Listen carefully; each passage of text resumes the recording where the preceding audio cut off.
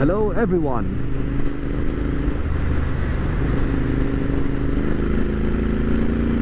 I thought I'll make a small vlog on my ride back from Gurgaon with a slight twist.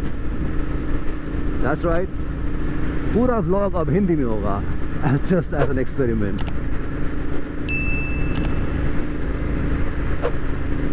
So बहुत लोगों ने पूछा मुझसे कि एग्जॉस्ट कैसे परफॉर्म कर रहे हैं? एग्जॉस्ट में कोई पॉप साउंड तो नहीं आ रहा है। क्या बाइक आपकी बहुत लीन चल रही है? वेल well, मैंने एग्जॉस्ट लगाए थे दिसंबर में। एंड अभी तक तो इसमें कोई पॉपिंग साउंड्स कुछ नहीं आ रहे हैं। लाइक आई थिंक आप सुन पा रहे हैं। लाइक अगर मैं थ्रॉटल नहीं भी देता हूँ इसमें, एक मिनट रुकना। तो एक्सेलरेट कोई पॉपिंग साउंड नहीं है। और ये बहुत सही बात है। और ये बहुत सही चीज़ भी है। मैन ये एग्जॉस्ट वाकई में बहुत सही है यार, बहुत सही।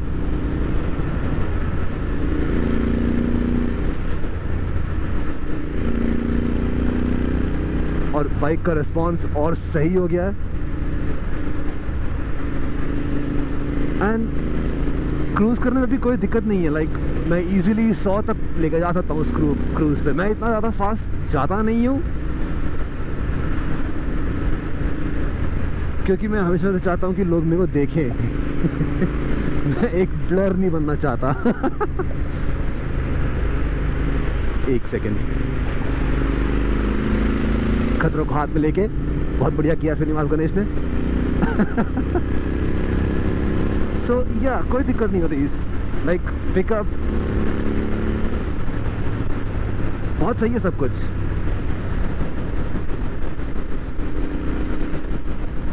बस एक चीज़ है कि ऑफ़ कोर्स आपने अगर ओके okay, अगर आफ्टर मार्केट एग्जॉस्ट आपने लगाए हैं सो so, ऐसा कुछ नहीं है कि आपका माइलेज एकदम से बहुत ज़्यादा गिर जाएगा।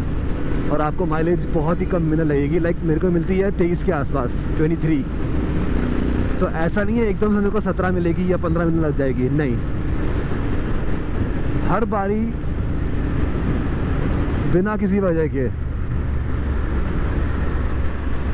एग्जॉस्ट में इतना कभी गैप नहीं आता है। कभी भी नहीं। और आपकी माइलेज तेईस के आसपास है तो आपको तेईस की ही मिलेगी।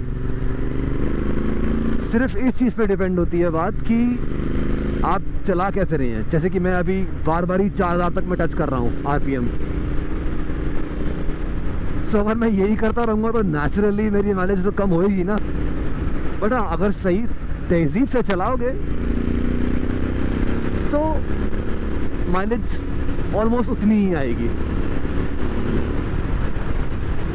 एंड बाइक बिल्कुल ओवर हीट नहीं होती है बिकॉज़ अब गैसेस एग्जॉस्ट गैसेस जो हैं, वो बहुत सही से एस्केप कर पा रहे हैं।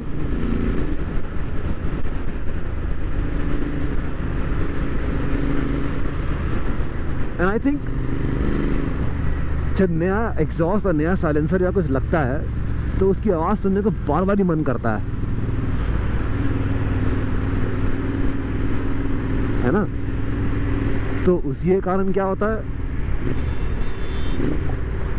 ये बार बार ही करने का मन करता है। ब्रुम ब्रुम। मतलब चुल। बेसिकली और कुछ नहीं है वो। चुल। और बिकॉज़ तुमने एग्जॉस्ट सुनने का मन कर रहा है तो नेचुरली तुम थ्रॉटल दोगे सुनने के लिए। थ्रॉटल देने से आरपीएम ऊपर जाएगा आरपीएम जाने से माइलेज नीचे आएगी। So there you have it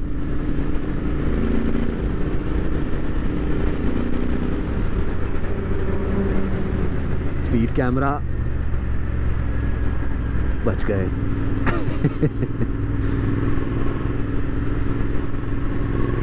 so so, अभी तक एग्जॉस्ट में कोई दिक्कत नहीं है। मैं बहुत सही मैंने चुना power rage which was amazing I mean काफ़ी सारे रिसर्च करने के बाद मैं आया पावर रेज पे बिकॉज़ बहुत लोगों ने कहा था कि ए डब्ल्यू भी काफ़ी सही है। एंड मैंने ट्राई किया A W try edge N मेरे को शॉप वाले नहीं सुनाया। प्लस यूट्यूब पे बतेरे वीडियोस मिल जाएँगे आपको कि A W one O two one O one सब कैसे साउंड कर रहे हैं। आई नो ए डब्ल्यू मेरी टेस्ट के लिए तो काफ़ी लाउड लगा मुझे। पावर एज मुझे सही लगा बिकॉज़ वो उसका साउंड काफ़ी सही लगा मेरे को। एंड प्लस बजट में था. आई मीन पंद्रह हज़ार रुपये एक एग्जॉस्ट के आई थिंक बहुत सही डील है ये. मेरा एक्चुअली एम तो था कि एस एन एस का मैं एग्जॉस्ट लूँ पता ना कि इन पचास हज़ार रुपये भाई साहब. इससे अच्छा है, मैं पचास हज़ार सेव करके वाई एस एस के शॉक्स ना ख़रीद लूँ. सस्पेंशन जो कि मैं प्लान कर रहा हूँ अभी. बहुत जल्द वो भी ख़रीदूँगा. वो भी इंस्टॉल करूँगा और उसकी वीडियो वीडियो बनेगी. बिकॉज़ आई थिंक एक वो आई मीन अपग्रेड का फंडा ये है ना कि ये तो एंडलेस है। अपग्रेड मॉड आप तो करते रह सकते हो। लाइक तीन चीज़ें तो मेरी पाइपलाइन में हैं अभी। वो है, इसकी एक क्लच केबल बदलनी है। क्लच केबल एक बहुत ही बढ़िया ब्रिटिश कंपनी से मैंने मंगवाया विच इज़ वेन हिल काफ़ी सही रिव्यूज़ हैं उसके। और एक ही बुरी बात है उसकी, क्योंकि उसमें टेफलॉन कोटिंग है। एंड टेफलॉन इफ़ और आपको पता है टेफलॉन क्या है। सो so, ये एक एक वर्ड ही काफ़ी है सबके कान खड़े करने के लिए। गूगल सर्च टेफलॉन दूसरा एक विंड स्क्रीन मंगाया मैंने इसके लिए जो कि है डार्ट फ्लाई स्क्रीन कंपनी से। वो भी काफ़ी सही एक आई थिंक एक एसेंशियल चीज़ हो जाती है वो अगर आपको टूरिंग पे लेके जाना है इसको तो। और मैं टूरिंग पर ज़रूर लेके जाऊँगा इसे बट जस्ट वेट कर रहा हूँ कि ये कम वक्त ओमिका और कोविड भैंस की आँख कभी ख़त्म हुए हैं तो हम कभी निकले बाहर तो ऐसे ही घर में दिल्ली में फंस गए हम तो मतलब क्या ही बताऊँ। सो लाइक अगर आप देख सकते हैं कॉन्स्टेंटली मैं सौ पे ही हूँ विथ ईज़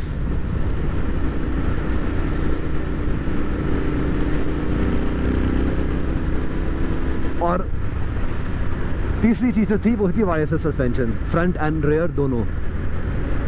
थोड़ा खर्चा ज़्यादा होगा उसमें but I think that's fine है ना? एक नई मोटरसाइकिल ख़रीदने से अच्छा है मतलब इसी में थोड़ा बहुत खर्चा करके इसी को अच्छी बना दो। और ये बहुत सही परफॉर्म कर रही है अभी तो बहुत सही।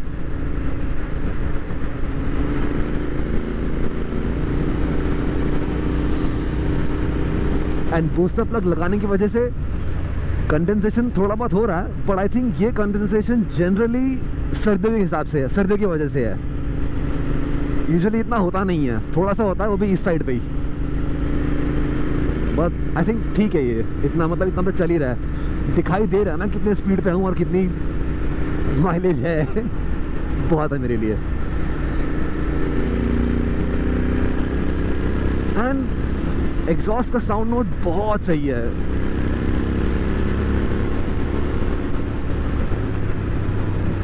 लाइक मज़ा आ जाता चला के इसको। इतनी सर्दियों में मेरे को कोई फ़र्क नहीं पड़ता बिकॉज़ यू नो जब बाइक पे बैठते हो ना, एक अलग ही फील आ जाती है कि, ओए होए, अब तो सब ठीक ही होना है।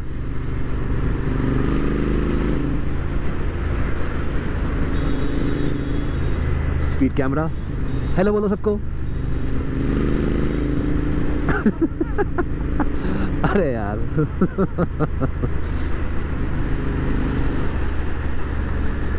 सो एक ये और और क्या मुझे करना है? हाँ एक और वीडियो में बनाऊँगा कि बहुत लोगों ने पूछा है कि तुमने क्या क्या इसमें मॉड्स कर दिए हैं अभी तक। सो लास्ट जब मैंने वीडियो बनाई थी I think last last year मैंने सर तब मैंने सिर्फ़ तीन ही मॉड करे थे इसमें। ब्लैक हैंडल बार और आई थिंक एक एयर फ़िल्टर लगाया था मैंने। बस। और कुछ खास करा नहीं था मैंने इसमें। सो आई थिंक वो वीडियो अब दोबारा बननी चाहिए बिकॉज़ अब आई थिंक डिसेंट चीज़ें मैंने लगा दी हैं इसमें।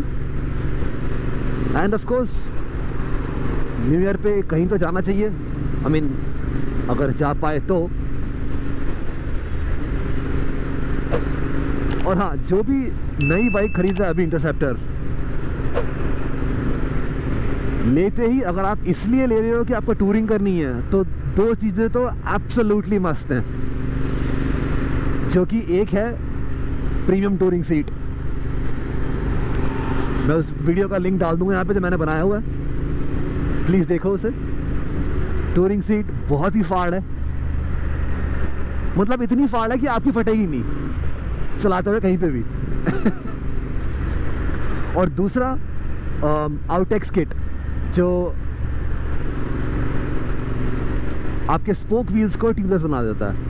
इट्स अ जापानीज टेप और मेरे को डेढ़ साल से, मेरे को ऑलमोस्ट दो साल होने वाला है। वो टेप लगाए हुए। अभी तक कोई दिक्कत नहीं है। कोई भी दिक्कत नहीं है। सो so, ये दो चीज़ तो एब्सोल्युटली मस्त है। बाकी सब स्वाद अनुसार है भाई। जिसको जो लगाना है जैसे लगाना है बिल्कुल लगाओ। बिल्कुल। जस्ट रोड पे सही से चलाओ bike don't be an asshole on the road otherwise you know हम बाइकर लोगों का नाम बहुत ख़राब होता है।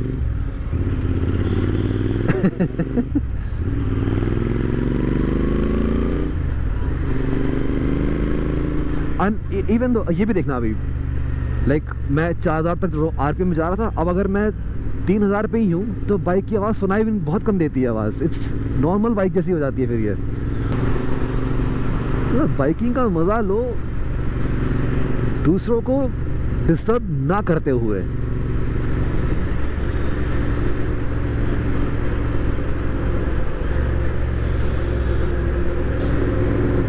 इस पर एक और मैं वीडियो बनाऊँगा कि आई थिंक जो स्टॉक सस्पेंशन है उस पर भी वीडियो बननी चाहिए कि अगर आप पीलोड वगैरह डाल रहे हो उसमें तो आपने उसको भी एडजस्ट करना चाहिए अपने हिसाब से ही। तभी राइड क्वालिटी और स्मूथ हो जाती है उससे। सो so, उस पर एक जल्द वीडियो बनाऊँगा मैं। थोड़ा टाइम कम मिल रहा है आजकल तो बना नहीं पा रहा बट दैट्स फाइन जैसे जैसे जब मौका मिल रहा है हेलमेट पर लगाओ घूमरो बटन दबाओ, वीडियो बनाओ और डालो यूट्यूब पे। बिल्कुल।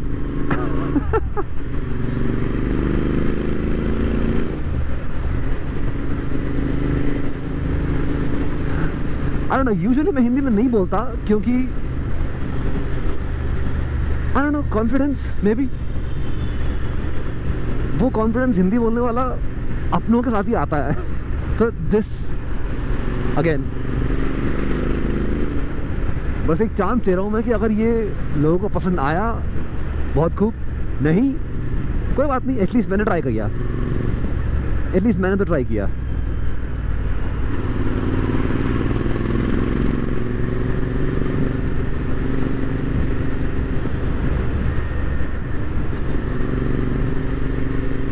ऑनेस्टली बताऊँ तो 2020 में जो एक बहुत ही सही चीज़ खरीदी है मैंने, वो है एक तो ये और एक ये। बाय द वे ये हैं burnish gloves by Royal Enfield and pretty comfortable and pretty nice बहुत सही है।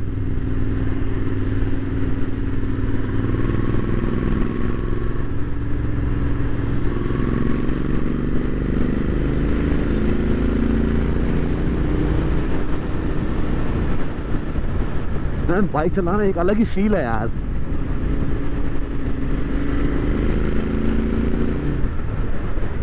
हाँ मेरे साथ एक तो ये भी होता है क्योंकि जब मेरे पास हार्ली फैट बॉय थी उसमें गियर इंडिकेटर होता था। सो so, एक बारी अगर डायल पे नज़र पड़ जाती है तो तुम्हें पता लग जाता है कि तुम हाँ सिक्स गियर पे हो। बट इंटरसेप्टर का इतना कंफर्ट लेवल है कि स्लो स्पीड पे भी अगर तुम सिक्स गियर पे हो या और स्लो स्पीड पे भी तुम सिक्स गियर पे हो बाइक को इतना कुछ खास फ़र्क पड़ता नहीं है। सो so, आदत से एक गियर ऊपर चले गए ट्राई करने अच्छा चलो स्पीड बढ़ाता हूँ मैं गियर चेंज करता हूँ। फिर ओहो मैं तो सिक्स पे ही हूँ। तो ऐसे मेरा बहुत बारी होता है। बिकॉज़ बाइक वेरी बाइक बहुत ज़्यादा कंफर्टेबल है।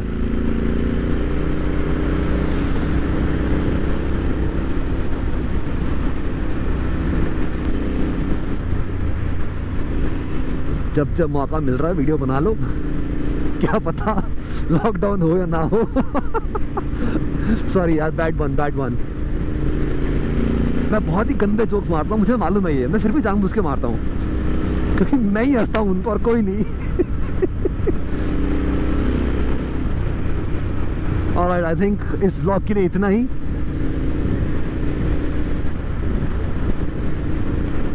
प्लीज़ टेक केयर फिर मिलते हैं। आई मीन मैं स्ट्रगल कर रहा था हिंदी वर्ड ढूँढने के लिए उसको कि see you again see you in the next one अगली दफ़ा मिलते हैं। ना यार, ना।